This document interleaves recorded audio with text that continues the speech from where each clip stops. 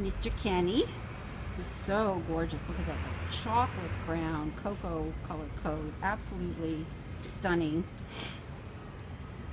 Maybe house trained. Pete, as soon as we were out the door.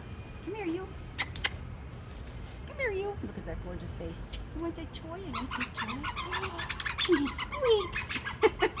it squeaks. He's a very pokey walker. He likes to sniff everything.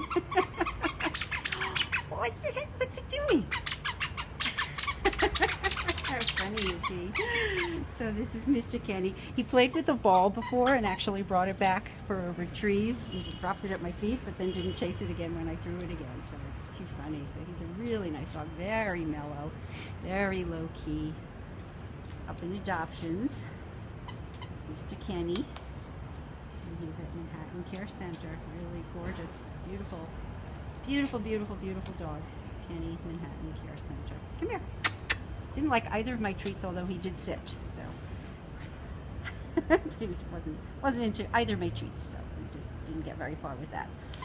Kenny Manhattan Care Center.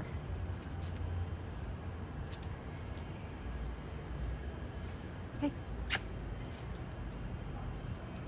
Mr. Candy, look at that gorgeous face. Look at how beautiful he is. I know you didn't like my treats, but I'm gonna give you another one if you didn't like it. But you can have it if you want it. No, you didn't like it. Kenny Manhattan Care Center.